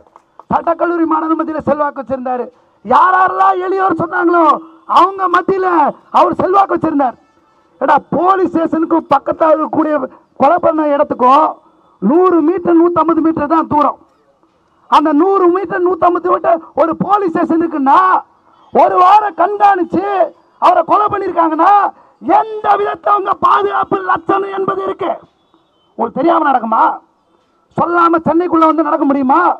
யாரோட தூண்டுதல் இருக்கு? ஒரு சாதாரணமா ரெண்டு ரவுடிகள் தரப்பில் நடந்த விஷயமா? கிடையாது. சென்னையினுடைய முகம் வட சென்னையினுடைய ராஜன் அவர்கள் கே ஆம்சாங் அவர்கள். இங்க யாருக்கு என்ன பிரச்சனை இருந்தாலும் போலீஸ் ஸ்டேஷனுக்கு போன அண்ணன் இருக்காரு. கோர்ட்ல போன அண்ணன் இருக்காரு. பாதிக்கப்பட்டு வந்த அண்ணன் நிற்கிறாரு சொல்லி அண்ணன்ற மொழியில உரிமையோடு கொண்டாடின சொந்த கூட்டம் எல்லாம் ஒரு வாரமா தூக்கம் கலைஞ்சு போய் விழிப்பிதுங்கி மனக்குமுறையில் இன்னைக்கு உட்காந்துருக்கு அரசு மரியாதை. விஜயகாந்த் அவர்களுக்கு அரசு மரியாதை செய்யட்டும். வேணான்னு சொல்லலை. சினிமாவில் சாய்ச்சிருக்கார் எம்எல்ஏ வந்த எதிர்கட்சி தலைவர் சொன்னாங்க. எந்த விதத்தில் பிஎஸ்பியினுடைய தமிழ்நாடு மாநில தலைவர் ஆம்சாங் அவர்களுக்கு அரசு மரியாதை வழங்கக்கூடாது. நீங்க நினைச்சா ஒரே நைட்ல எந்த இடத்துக்கு சென்னைக்குள்ள கொடுக்க சொல்லி மாத்தி அமைச்சிருக்க முடியும். அது வணிகமயம் சொல்லுங்க கமர்ஷியலைசேஷன் சொல்லுங்க சும்மா கட்டு கதை. உங்களுக்கு ஒடுக்கப்பட்ட சமூகத்திலிருந்து தலை நிமிர்ந்து வந்திருக்கக்கூடிய தலைவருக்கு இடம் கொடுப்பதை பற்றி அக்கறை இல்லாதோட விளைவுதான் இன்னைக்கு அரசு மரியாதை இன்னும் நடக்கல. யார் உண்மையான குற்றவாளிகள்? அவர் சாதாரணமாக தொட்டு போயிட முடியுமா? சாதாரணமாக செஞ்சிட முடியுமா? இது எட்டு பேர் சம்மந்தப்பட்ட விஷயம் தானா? நிச்சயமாக இருக்க வாய்ப்பே இல்லை. சென்னை மேலே ஒரு கண் இருக்கு. ஒடுக்கப்பட்டவன் கருப்பு தோலை கொண்டவன் சூரியனை சுமந்தவன் ஆண்டு ஆண்டு காலமா இந்த இடத்த வந்து மூட்டத்துக்கு வந்தவன் பிரிட்டிஷ் காலத்துல இருந்தவன் அத்தனை பேருக்கு ஒரு நம்பிக்கை அவர் இருந்தாரு. வழக்கறிஞர் படிக்க சொன்னார். பல பேர் வழக்கறிஞர் ஆக்கினார் இன்னைக்கு டாக்டர் அம்பேத்கருடைய கருப்பு கோட்டு. பிற்பட மிகவும் பிற்படுத்தப்பட்ட மக்கள் பிற்படுத்தப்பட்ட மக்கள் பட்டியலின மக்கள் நிறைய பேர் இன்னைக்கு இந்தியாவில் கோட்டு போட வச்சிருக்கு. ஆம்ஸ்டாங் அவருடைய கோட்டு தமிழ்நாட்டில் நிறைய பேருக்கு நூற்றுக்கணக்கானவர்களுக்கு இந்த கருப்பு கோட்டை வாங்கி கொடுத்துருக்கு. நான் அவருக்கு இல்லை. அவருக்கு செய்ய வேண்டிய அரசு மரியாதை என்பதும் இந்த அரசாங்கம் செய்யல. உண்மையான இன்னைக்கு இருக்கக்கூடிய நடைமுறை என்பது இல்லை. அவரை பற்றி வாய் கூசாம சொல்கிறாங்க அவர் வந்து கட்ட பஞ்சாயத்து செய்வாராம் ரவுடித்தனம் பண்ணுவாராம் மற்றதெல்லாம் செய்வாராம் இதை சொல்கிற கூட்டம் யார்? உங்களுக்கு நிலம் வச்சுருப்பான் பதவி வச்சுருப்பான் அமைச்சர் பதவியில் இருப்பான் போலீஸ் ஸ்டேஷனை கையில் வச்சுருப்பான் அதெல்லாம் செஞ்சு பண்ணி அதெல்லாம் பண்ணால் அது பேர் கட்ட பஞ்சாயத்தில் ரவுடித்தனம் இல்லை. ஏன்டா அடிக்கிறேன்னு சொல்லி திருப்பி அடிச்சா? அடங்கு மருன்னு சொல்லி அத்து மீறினா சட்டையை பிடிச்சி கேள்வி கேட்டா அது கட்ட பஞ்சாயத்து ரவுடிசன் நீங்க சொன்னீங்கன்னா அது தொடர்ந்து நடந்தே தீரும். சட்டம் என்பது சட்டம் இல்லைன்னு சொல்றத மீறது இருந்தா அதை எதுக்குறதா சட்டம்? ஆம்சாங்கர் தான் செஞ்சாரு. அவர்கிட்ட போய் பாருங்க யாராவது போய் பாருங்க. நானும் அவர்கிட்ட சாதாரணமாக தான் போனேன். தூய்மை பணியாளர் மத்தியில் நாற்பத்தி நாலு கோடி ரூபா சம்பளம் எட்டாயிரம் பேருக்கு வாங்கணும். இன்னைக்கு கமிஷனரோட பேச்சுவார்த்தை நாற்பது கோடி ரூபா வாங்கணும். வாய் கூசாம போய் சொன்னானுங்க. ரவுடிசம் பண்ணுறார் பாரதி போன்றவர்லாம். இவங்கெல்லாம் தூய்மை பணி அமைச்சர் ரவுடிஸ் ஆளுக்கு வார்டுக்கு பத்து பேர் வச்சுருக்காங்க. நான் அவர்கிட்ட போய் சொன்னேன். ரொம்ப அநியாயம் பண்ணுறானுங்க கஷ்டப்பட்டு தூய்மை பணியாளருக்கு நாற்பத்தெட்டு கோடி வாங்கி கொடுத்துருக்கோம். அடுத்து வாங்குறதுக்கு இருக்கோம். ரவுடிசம்ன்றாங்க. நீங்கள் எங்கள் பேரணியில் வந்து கலந்துக்கோங்கன்னு சொன்னேன். நான் எந்த நிகழ்ச்சிக்கு வெளி நிகழ்ச்சிக்கு வரமாட்டேன். தூய்மை பணியாளர்களுக்கு நிகழ்ச்சினா வர்றேன்னு சொல்லி ரவுடி நீங்க எந்த முத்திரை குத்துறீங்களோ சொல்றீங்களோ அந்த இடத்துல இன்னைக்கு வந்து இன்னைக்கு நாற்பது கோடி ரூபாய் சம்பளம் கார்பரேஷன் கமிஷனர் ராதாகிருஷ்ணன் அறிவிச்சிருக்காருன்னா அதுல ஆம்சாங் போன்ற போராளிகளுடைய பங்களிப்பு இருக்கு. யார் யார் ரவுடி? இந்த சமுதாயத்தை எல்லாத்தையும் கட்டமைப்பு வச்சுட்டு ஆட்சி அதிகாரத்தை மத்தத கையில வச்சுக்கிட்டு உழைக்கும் மக்களை ஏமாத்துறீங்க பார். உழைக்கும் மக்களை சாதி அதிகம் பண்ணீங்க பார். நீ தான் ரவுடி. நீ கட பஞ்சாயத்து. வட சென்னையுடைய ராஜன் வட சென்னையுடைய தளபதி வட சென்னையுடைய போராளி சென்னையினுடைய பாதுகாப்பு கேடையும் இன்னைக்கு வீழ்ந்துருச்சுன்னு நினைக்கிறாங்க. ஒவ்வொருத்தரும் ஆம்சாங்க மாறுவாங்க. அவரோட உடல் மட்டும்தான் இன்னைக்கு இல்லை. அவருடைய உணர்வுகளும் சிந்தனைகளும் சகோதரத்துவம் சமத்துவமும் இன்னைக்கு என்னைக்கும் நீங்காம நினைச்சு இந்த மண்ணை நீடிச்சிருக்க. ஒரு விஷயம் முக்கியமானது. ஏற்கனவே சொன்ன மாதிரி அவர் ஒடுக்கப்பட்ட மக்களுக்கு மட்டும் தலைவரா? அம்பேத்கர் எப்படி சு- சுருட்டி வைக்க பார்க்குறாங்களோ பாக்ஸ்குள்ள அது மாதிரி சொல்ல பார்க்குறாங்க. அவர் சகோதரத்துவத்தை விரும்பினார். இன்னைக்கு சென்னையில் வாப்பான்னு சொல்லி தோல் மேலே கை போட்டு துண்டை போட்டு ஐயா அம்மான்னு காலில் விழுந்து ஓட்டு கேட்குற நிலைமைன்னு ஒரு விஷயம் இருக்குன்னா சரிசமமா சேர்ல உட்காந்து பார்க்குற விஷயம் இருக்குன்னா அதில் நிச்சயமாக சொல்ல முடியும். ஆம்ஸ்டாங்கில் அவருடைய பெயர் என்பது அதில் உள்ளுக்குள்ளே இருக்கு. சரிசமமாக பார்க்குறாங்கண்ணா இது நீடிக்கும். இந்த போராட்டம் முடியாது. வழக்கறிஞர் வக்கீலுக்கு தமிழ்நாட்டில் பாதுகாப்பு இல்லைன்னா கருப்பு கடன் போட திறந்து கொலை பண்ணுவாங்கன்னா என்னத்தை மண்ணாங்கட்டி ஆட்சி நடத்தி நீங்கள் கிழிக்கிறீங்க? உங்களை கேட்காம நாங்கள் யாரை கேட்கறது? நீங்கள் வீட்டுக்கு வந்தீங்க மதிக்கிறோம். ஆறுதல் சொல்கிறீங்க மதிக்கிறோம். மாண்பு முதல்வர் நாங்கள் மதிக்கிறோம். பிரச்சனை இல்லை. போலீஸ் என்னத்தை கிழிச்சுது? சும்மாவே வக்கீல் மேலே கேச போடுவான். சும்மாவே ஆடுவான். இதை சட்டம் வேற கொண்டு வர அவனுக்கு அதிகம் நிறைய அதிகாரத்தை தூக்கி கையில் கொடுக்கறதுக்கு. போலீஸ்காரங்களுக்கு. ரெண்டு சட்டத்தை வச்சு ஜட்ஜுக்கு புரியாது போலீஸ்க்கும் புரியாது. அத்தனை துன்பப்படுத்தும் போது ரொம்ப சாதாரணமாக வந்துடுவேன் அவரோட சிரிப்பு அவரோட அருகாமை அவரோட நெருக்கம் ஒரு மேஜிக் ஆம்ஸ்டாங் என்றால் ஒரு மேஜிக் அவர்கிட்ட நீங்கள் போனீங்கன்னா திருப்பி வரும்போது புத்தகத்தோட வருவீங்க. நான் சொல்கிறேன் ஆம்ஸ்டாங்க அம்பேத்கரும் கற்றுக் கொடுத்த வழி எல்லாரும் புத்தகத்தை தூக்குங்க. அப்படி இல்லைன்னா அவர் படுகொலை நடந்த ரெண்டே நாளில் நீங்கள் எனக்கு தெரிஞ்சு எந்த பஸ்ஸும் எரியல யார் கடையும் உடைக்கல யாருக்கு எந்த தீங்கும் பொதுமக்களுக்கு நடக்கல. ஏன்னா அவரு புக்க தூக்க சொன்னாரு கத்திய தூக்க சொல்லலை. அவர் சொல்லி இருந்தாருன்னா எல்லாரும் புத்தகத்துக்கு பதிலாக வேற ஒன்று தான் தூக்கியிருப்பாங்க. அந்த அளவுக்கு கல்வியின் மீது அக்கறை கொண்டவர். எனக்கு எதுக்கு ரெண்டு லட்சம் செலவு பண்ணி பேனர் வைக்கிறீங்க? பத்தாயிரம் ரூபாய் கொடுத்து படித்தவனுக்கு வந்து கொடுங்களேன் ஏன் தானா பேனா மேல பார்த்தா சந்தோஷப்படுவார். துண்டு வேணான்னு சொல்லுவார். அப்படிப்பட்ட ஒரு தரமான ஒரு அரசியல்வாதி. அவரை பற்றி பேசுவதற்கு எந்த ஆதிக்க சக்திக்கும் எந்த தப்பானவருக்கும் அருகதே கிடையாது. ஆம்ஸ்டாங்கருடைய உணர்வுகளை நாம் ஏந்தி செல்வோம். ஒரு வாரமா நிறைய பேர் தூக்கமின்றி இருக்கோம் விழிப்பின்றி இருக்கோம் நல்ல சிந்தனையின்றி இருக்கோம். இந்த போராட்டம் அவருக்கு நீதி வழங்குவதற்கு உண்டான போராட்டமாக மாறுன்ற விதத்தில் இங்கே வந்திருந்த அத்தனை பேருக்கும் என்னுடைய நன்றியை தெரிவிச்சுக்கிறேன். நன்றி. பண்பாட்டு இயக்க மையத்தினுடைய பொறுப்பாளர் அன்பு தோழர் உதயா அவர்கள் சுருக்கமாக உள்ளார் ஜெய்பீம் மதிப்பிற்குரிய அண்ணன் ஆம்ஸ்ட்ராங் அவர்களின் இறப்பு வந்து நம்ம இந்தியா முழுவதும் ஒரு பெரிய ஒரு பதட்ட சூழல் இருக்கிறது. அந்த சூழல் வந்து நிச்சயமாகவே நம்மளால் தாங்கிக் கொள்ள முடியாத ஒரு இழப்பு. இங்கே இருக்கும் இந்த கருப்பன் நகரத்தின் கூட்டம் வந்து அந்த சூழலை பொறுத்து கொண்டு இருக்கிறார்கள். அதை நாம் எல்லாரும் பார்த்து தான் இருக்கிறோம். நான் இந்த இடத்துல ஒரு உண்மையை நம்ம சொல்ல விரும்பணும் ஆக்சுவலி மதிப்பிற்குரிய அண்ணன் ஆம்ஸ்ட்ராங் அவர்கள் தருமபுரி இளவரசனுடைய இஷ்யூவில் வந்து அண்ணன் அவர்கள் வந்து பங்களிப்பு சாதாரண பங்களிப்பு அல்ல அந்த இடத்தில் நான் எட்டு நாள் அலுவல அந்த ஹாஸ்பிட்டல் இருந்தோம் நம்ம. அப்போ வந்து ஆம்ஸ்ட்ராங் அண்ணனுடைய அந்த பங்களிப்பு வந்து எப்படி இருந்ததுன்றதை நேரடியாக நம்ம பார்த்துருக்குறோம். அண்ணன் ரஜினிகாந்த் அவர்கள்லாம் அங்கே இருந்தாங்க. அப் இங்கே இருக்கிற அஸ்ரார் கார்க் அவர்கள் வந்து அங்கே இருக்கிற எஸ்பி அவர் மேலே எங்களுக்கு சுத்தமாக நம்பிக்கையே கிடையாது ஆக்சுவலி அவருடைய அந்த போக்கு என்பது நிர்வாகற்ற போக்கு அவருடைய போக்கு என்பது ஒரு சுய ஒரு என்ன சொல்கிறது ஒரு கேடுகெட்ட போக்காக தான் நான் சொல்ல முடியும். தருமபுரியில் நடந்த இஷ்யூவை நான் நேரடியாக பார்த்தவர்கள். அதே சூழல் இன்னைக்கு இருக்கிற நம்மளுடைய சமுதாய தலைவர் அண்ணன் ஆம்ஸ்ட்ராங் அவருடைய இழப்பை அவர் என்னவா பார்க்குறாருன்றது எனக்கு பெரிய அதிர்ச்சியாக இருக்குது. எனக்கு அவர் மேல் பெரிய சந்தேகம் எழுகிறது. ஏன்னா இதை நான் ஏன் சொல்ல வரேன் அப்படின்னா தொடர்ந்து இந்த சமுதாயத்தை எப்படி தட்டி எழுப்பணும் இந்த சமுதாயத்தை எப்படி பாபா சாஹிப் அம்பேத்கருடைய நூல்களை வாசிக்க வைக்க வேண்டும் என்பதற்காக மதிப்பிற்குரிய அண்ணன் ஆம்ஸ்ட்ராங் அவர்கள் அவரை தேடி சென்றா எல்லாருமே இந்த இந்த இந்த லைனை வாசிமா இந்த புத்தகத்தை இதில் பாசிமா இந்த வால்யூம்ஸை வாசிமா அப்படின்னு சொல்கிற ஒரு குணம். அந்த குணத்தை செறிந்து நாங்கள் இன்னைக்கு தவிச்சிட்டு இருக்கிறோம் எங்களுடைய இழப்பு என்பதை நாங்கள் சகித்து கொண்டு வாழ்கிற சமூக சமுதாயமாக தான் நாங்கள் இன்றளவிலும் இருக்கிறோம். அந்த சூழலை நாங்கள் இனியும் நாங்கள் வந்து கலக்காமல் மதிப்பிற்குரிய அண்ணன்கள் இவ்வளோ வழக்கறிஞர்கள் நாம் இன்னைக்கு ஒன்றிணைந்து இருக்கிறோம் உடனடியாக உண்மை குற்றவாளிகளை கண்டறிய வேண்டும். இதை சிபிஐ விசாரணைக்கு கொண்டு செல்ல வேண்டும். வழக்கறிஞர்களுக்கு பாதுகாப்பு அளிக்க வேண்டும். சமுதாய தலைவர்களை பாதுகாக்க வேண்டும் என்பதுதான் எங்களுடைய இந்த வழக்கறிஞர்களுடைய கோரிக்கை நான் அந்த தருமபுரியிலே பாதிக்கப்பட்ட சூழலில் அன்றில் இருந்து இந்த சமுதாயத்தை பாதுகாக்கிறவர்களுடைய நிலைமை இதாக தான் இருக்கிறது.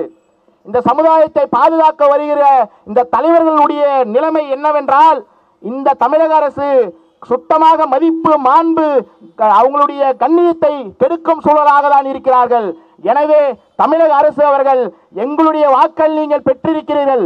அதனால் எங்களுக்கு உரிய மதிப்பை மாண்பை கொடுக்க வேண்டும். எங்கள் சமுதாய தலைவர்களுக்கு பாதுகாப்பு அளிக்க வேண்டும் என்பது உங்களுடைய தலையாய கடமை.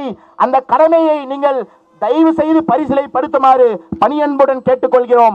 இனியும் நாங்கள் பல ஆம்சாங்கள் உருவாகுவோம். புரட்சியாளர் அம்பேத்கர் வாரிசுகள் நாங்கள் உயிருடன் இருக்கும் வரையில் இந்த சட்ட ரீதியான போராட்டம் தொடரும் தொடரும். ஜெய்பீம் ஜெய்பீம் அன்பார்ந்த தோழர்களே நிறைவாக விடுதலை சிறுத்தைகள் கட்சியினுடைய துணை பொதுச் செயலாளர் அன்புக்குரிய தோழர் ஆதவ் அர்ஜுனா அவர்கள் நினைவேந்தல் உரை ஆற்றுகிறார்கள்.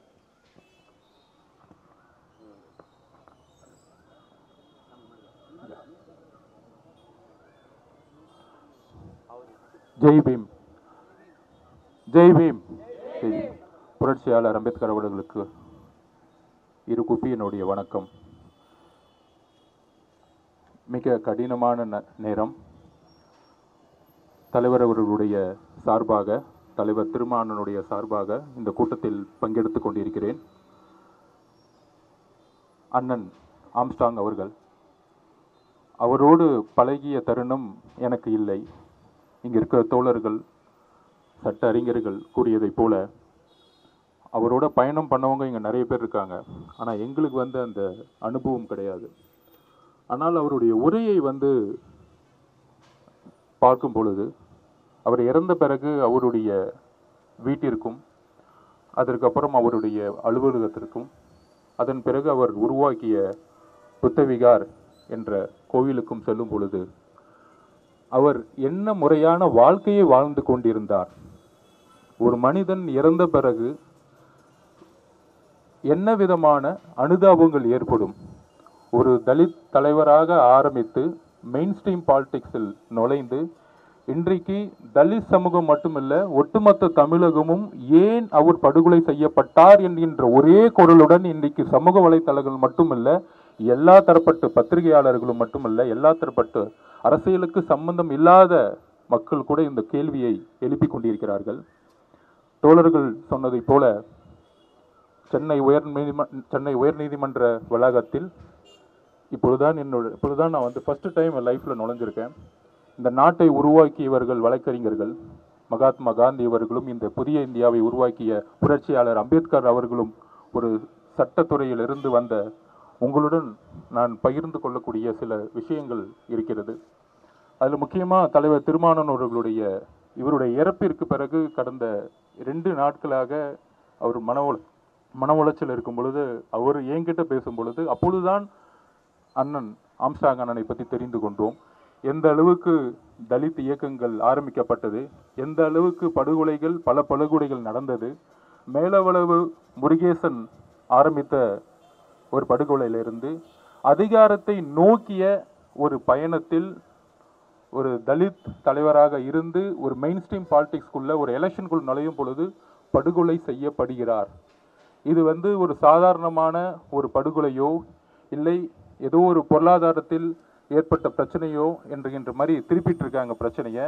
எங்களை பொறுத்த வரைக்கும் என்னை பொறுத்த வரைக்கும் கண்டிப்பாக ஒரு அரசியல் படுகொலையாக இருக்கலாம் என்கின்ற கண்ணோட்ட என்ற என்கின்ற கண்ணோட்டத்துடன் காவல்துறை அணுக வேண்டும்.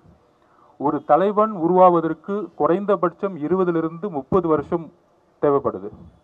அப்படி ஒரு இறப்பு ஒரு சமூகத்துடைய ஒரு மிகப்பெரிய இழப்பாக மாறும் பொழுது தமிழக அரசு வழக்கறிஞர்களுக்கு எப்படி ஒரு சட்டத்தை கொண்டு வரணுமோ? தலைவர்களுடைய ஒரு செக்யூரிட்டிக்கும் ஒரு சட்டத்தை கொண்டு வரக்கூடிய சூழலில் இன்னைக்கு தமிழகம் இருந்து கொண்டிருக்கிறது. ஸோ கண்டிப்பாக அவருடைய இழப்பு இன்னைக்கு இங்கே இருக்கக்கூடிய தோழர்கள் அதுவும் இளம் வழக்கறிஞர்கள் அவரால் உருவாக்கப்பட்ட வழக்கறிஞர்கள் அவர் வீடியோவில் பார்க்கும் பொழுதே அவர் ஒன்று எப்பவுமே சொல்லுவார். அவர் மேலே தோழர்கள் சொன்ன மாதிரி கட்ட பஞ்சாயத்து செய்வார் அந்த மாதிரி திருப்பி திருப்பியும் ரிப்பீட் நம்ம பண்ண வேண்டிய அவசியமே கிடையாது. அவர் மேலே அப்படி ஒரு குறைகள் இருந்தால் முதலமைச்சர் புரோட்டோகால் படி அவர் வீட்டுக்கு போகவே முடியாது. இன்னைக்கு முதலமைச்சர் உறுதிப்படுத்தியிருக்கிறாரு. அவர் வந்து எந்த விதமான ரெக்கார்ட்லையும் இல்லை அவர் ஒரு தலைவருங்கிறத உறுதிப்படுத்தியிருக்கிறாரு. அவருடைய அவர் வந்து அது அரசியலுக்காக சென்றாரா அப்படிங்கிற விவாதத்தோட அசிய தமிழ்நாடுடைய முதலமைச்சராக அவர் புரோட்டோகால் படி பதிவாயிருக்கிறாரு எதிர்க்கட்சி தலைவர் முன்னாள் முதல்வர் எடப்பாடி அவர்கள் எடப்பாடி அவர்கள் போயிருக்கிறாரு. அன்புமணி ராமதாஸ் அவர்கள் ஏன் பிஜேபி தலைவர் போயிருக்கிறார்? ஸோ அந்த அளவுக்கு பொது தளத்திற்கான ஒரு தலைவராக இன்னைக்கு மாறி இருக்கிறாரு ஒரு விவாதத்தை உருவாக்கிறார் அது என்ன விவாதம்னா அனிலேஷன் ஆஃப் கேஸ்ட் அப்படின்னு சொல்லுவோம். அதாவது சாதியை அழித்தல். சாதியை அழித்தல்ங்கிற ஒரு ஒரு நடையை வந்து நீங்கள் வந்து ஒரு கேம்பெயினாக உருவாக்குங்க. ஒரு பிரச்சாரத்தை உருவாக்குங்க. நான் தேர்தல் பிரச்சாரத்திலிருந்து என் வாழ்க்கையை தொடங்கியிருக்கேன். அப்போ நான் தேர்தல் பிரச்சாரத்திலிருந்து தொடங்கினதுலாம் எந்த ஒரு பிரச்சனைக்கும் இல்லை எந்த ஒரு இழப்புக்கும் இல்லை எந்த ஒரு கலவரத்திற்கும் முக்கியமான காரணம் அங்கே ஒரு அரசியல் அதிகாரத்தை அடைவதற்காக இருக்கும். அப்போ இந்த கொலை எந்த அரசியல் அடையா அந்த அதிகாரத்தை அடைகிறதுக்கான கொலையாக இருந்துச்சு? அதுவும் தலித் மக்கள் மேலு இந்த ஒரு கடந்த காலங்களில் ஏற்படக்கூடிய மிகப்பெரிய இழப்புகள் அது வேங்கவையல் பிரச்சனையிலிருந்து திரு மோகன் அவர்கள் வழக்கறிஞர் மோகன் அவர்கள் கொஞ்ச நேரத்துக்கு முன்னாடி எப்படி வந்து அவர் வந்து அட்ரஸ் பண்ணாருன்னு தெரியும். அந்த வேங்கவேல் பிரச்சனை இன்னைக்கு வரைக்கும் குற்றவாளிகள் கைது செய்யப்படவில்லை. அது மாதிரி சின்னத்துறை அவர்கள் நல்லா படிச்சுட்டாருன்னு சொன்னதுக்காக வந்து நம்ம வந்து அட்டாக் பண்ணிட்டு இருக்காங்க.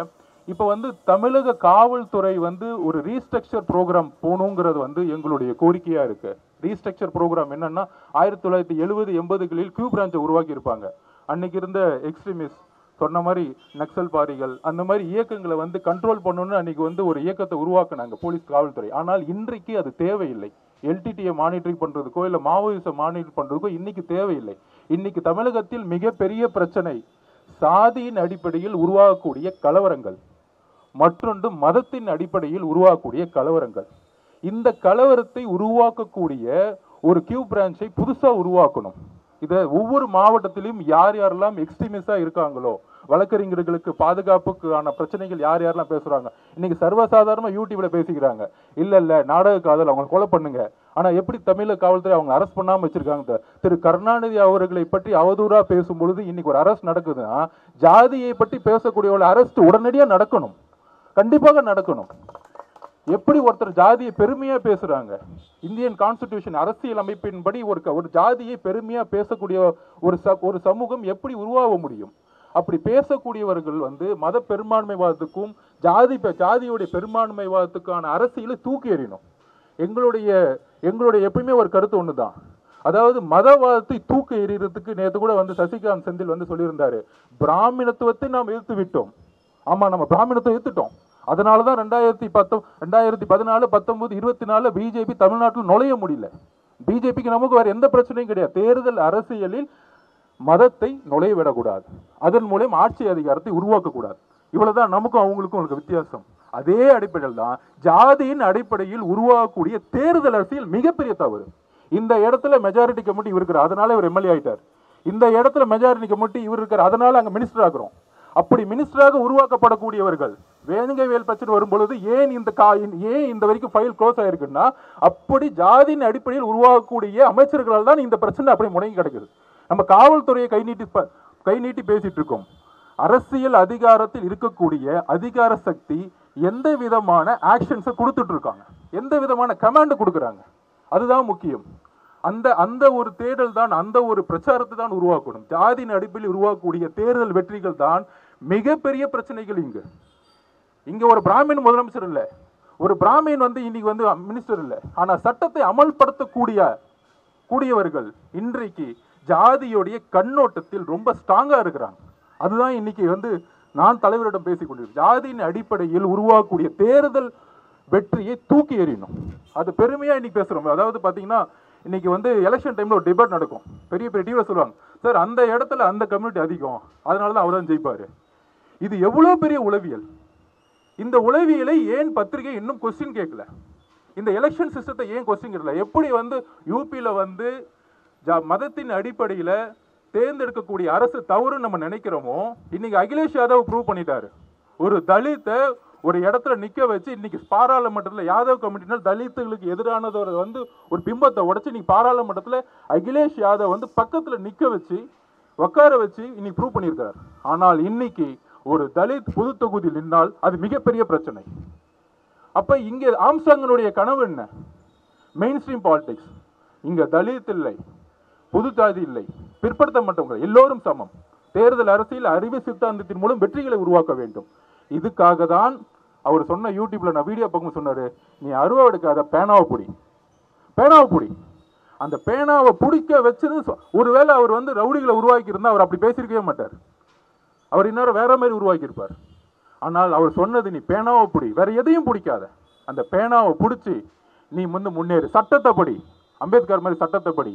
ஆனால் நாம் இன்னொரு அடுத்த அட்வான்ஸ் தூக்கி போகணும். பேனாவை பிடிக்கிறது பச்சை பேனாவாக பிடிக்கணும். பச்சை எழுத்து எழுதக்கூடிய ஒரு பேனாவாக பிடிக்கணும். சட்டத்தை அமல்படுத்துங்கள். இன்னைக்கு நம்ம போராடிட்டு இருக்கோம். ஆனால் எதிர்கால அரசியல் தோழர்களே வழக்கறிஞர்களே எழுதி கொள்ளுங்கள். ரெண்டாயிரத்தி இருபத்தி ஆறாம் ஆண்டு பாபா சாஹேப் அம்பேத்கருடைய கொள்கையை பின்பற்றக்கூடிய ஆட்சியாக தான் அமையும். அப்படி ஒரு எதிர்காலம் புதிய எதிர்காலம் புதிய ஒரு அரசியல் உருவாக போகிறது. அந்த அரசியலில் நாம் எல்லோரும் சேர்ந்து பயணிப்போம். அண்ணன் ஆம்ஸ்டாங்கனுடைய உடைய கனவு மட்டுமல்ல இங்க இருக்கக்கூடிய ஒவ்வொரு மேலவல் முருகேசன்ல இருந்து ஆரம்பிச்சு இனி இருக்கிற ஒவ்வொரு இழப்புகளுடைய கனவும் ஒரே ஒரு கனவு தான் எங்களையும் வாழ விடுங்கள். நாங்கள் ஆண்ட பரம்பரை அல்ல ஆள போகிற பரம்பரையும் இல்லை. எங்களை வாழ விடுங்கள் என்னக்கூடிய கோரிக்கையை தான் அண்ணனுடைய தலைவருடைய ஆம்ஸ்டாங். ஒருவேளை நீங்கள் சொல்கிற மாதிரி அவர் கட்ட பஞ்சாயத்து பண்ணி சம்பாரிச்சிருந்தாருன்னா போட் கிளப் வீட்டில் தான் வீடு வச்சிருப்பார். அதே இடத்துல அதே தெருவில் அதே இடத்துல ஆஃபீஸ் கட்டி அதே இடத்துல ஒரு புத்தர் சிலையை வைக்கக்கூடிய ஒரு மனநிலை அவருக்கு எங்க உருவாகுதுன்னா என்னுடைய மக்கள் இங்கே தான் இருக்கிறாங்க. எனக்கு பணம் வருது பணம் வரல. என்னுடைய பணம் இங்கு ஒரு கல்வியை உருவாக்கணும். என்னுடைய சமுதாயத்திற்கு ஒரு கல்வியை உருவாக்கணும். பிறப்பால் எல்லாரும் சொல்றாங்களே அவர் வந்து அப்படி இப்படின்னு. நாற்பத்தாறு தொகுதி இருக்கு தமிழ்நாட்டில். நாற்பத்தாறு தொகுதியில சர்வே எடுத்து பாருங்க. மனிதன் வாழ முடியாத தொகுதிகள் அது. மனிதன் வாழ முடியாது. இது வரைக்கும் ஒரு ஷெட்யூல் ஒரு ஒரு ஒரு காலனிக்குள்ள ஒரு தலைவரை போய் தூங்க சொல்ல முடியுமா? முடியவே முடியாது. அந்த அளவிற்கு ஒரு குழந்தை உருவாகக்கூடிய காலனிலிருந்து உருவாகக்கூடிய ஒரு குழந்தை எப்படி ஒரு ஒரு ஒரு மெயின் ஸ்ட்ரீம் ஒரு லைஃப்குள் நுழைய முடியும். அதுதான் இங்கே பிரச்சனை. இங்கே பிறப்பிலிருந்து வளர்ந்த வரைக்கும் கல்யாணத்திலிருந்து எல்லாமே ஜாதியின் அடிப்படையில் இருக்குது மதத்தின் அடிப்படையை தூக்கி எறிஞ்சிட்டோம். பெரியார் போராட்டம் மூலியமாக மதத்தை நீ தூக்கி எறிஞ்சிருக்கோம். ரெண்டாயிரத்தி இருபத்தி நாலு வெற்றிங்கிறது மதத்திற்கு எதிரான வெற்றி. ஆனால் இது இனி வரும் தேர்தல் அரசியலுங்கிறது ஜாதியின் அடிப்படை வாதிகளை எதிர்த்து நின்று நாம் தூக்கி எறிய வேண்டும். இதுதான் நம்மளுடைய உணர்வாக இருக்கணும். இங்கே வந்து பல்வேறு தலைவர்கள் பல்வேறு கட்சி இருக்கலாம். ஆனால் நம்மளுடைய குறிக்கோள் இந்த கேஸ்ட் எக்ஸ்ட்ரீமிஸ்ட் கேஸ்ட் எலிமெண்ட்ஸ் கிட்ட நம்ம விடுபடணும். அதற்கு காவல்துறையில் ரீஸ்ட்ரக்சர் ப்ரோக்ராம் பண்ணி ப்ளஸ் எல்லா தலைவர்களுக்கும் லாண்ட் ஆர்டர் போலீஸை வந்து அப்பாயின்மெண்ட் பண்ணுறாங்க அவங்களால வந்து திடீர்னு ஒரு பத்து பேர் இருபது பேர் கத்து எடுத்து வரும்போது அவங்களால வந்து அந்த அட்டாக்கை வந்து எடுத்துக்க முடியாது. கமாண்டோ ஃபோர்ஸ் இருக்கு. கமாண்டோ ஃபோர்ஸை வந்து எல்லா தலைவர்களுக்கும் அப்பாயின்மெண்ட் பண்ணுங்க. இனி வந்து எந்த அது- அது எந்த ஜாதி தலைவராக இருக்கட்டும். ஆனால் எதிர்வரும் காலத்தில் ஒரு தலைவருடைய இழப்பு ஒரு சமுதாயத்துடைய மிகப்பெரிய இழப்பு. அவர் ஐம்பத்தோரு வயசு தான் ஆகுது இன்னும் முப்பது நாற்பது வருஷம் வாழ வேண்டியவர். முப்பது நாற்பது வருஷம் வாழ்ந்திருந்தா இன்னும் எத்தனை வழக்கறிஞர்களை உருவாக்கியிருப்பார்? இன்னும் எத்தனை மனிதர்கள் உருவாக்கியிருப்பார்? அவர் கட்டினாங்க ரெண்டு வீடுன்னு சொல்றாங்க. அந்த ரெண்டு வீடு அவர் அவருக்காக கட்டினாரா? இல்லை சட்டம் மையத்துக்காக கட்டினாரா? எதுவுமே தெரியாது. ஸோ அவருடைய ஒவ்வொரு சிந்தனையும் ஒவ்வொரு உழைப்பும் இந்த சமூகத்துக்கு மக்கள் இல்லை தமிழ்நாடுடைய ஒட்டுமொத்த உழைப்பிற்காரமான ஒரு சிந்தனையாக இருந்தது. கண்டிப்பாக தமிழக காவல்துறை இன்னைக்கு வந்து டோட்டலாக கமிஷனர்லேருந்து மாற்றிருக்கிறாங்க ஸ்டேட்மெண்ட் தவறாக இருந்ததுக்காக மாற்றிருக்காங்க நம்பிக்கை வைப்போம். ஒரு காலம் கொடுப்போம். உங்களுக்கு சட்டம் தெரியாதில்ல. எங்கனையோ எங்களோட உங்களுக்கு சட்டம் தெரியும். எங்களோட தலைவருக்கு அதற்கு மேலே சட்டம் தெரியும். அதில் தவறு நடந்திருந்தால் தவறு தவறானால் முதல் குறையாக எங்களுடைய தலைவருடைய திருமானுடைய குரல் இங்கு ஒழிக்கும் கூடிய சீக்கிரம் நம்ம எல்லோரும் சேர்ந்து ஒரு மிகப்பெரிய ஒரு பிரச்சாரத்தை உருவாக்கும்.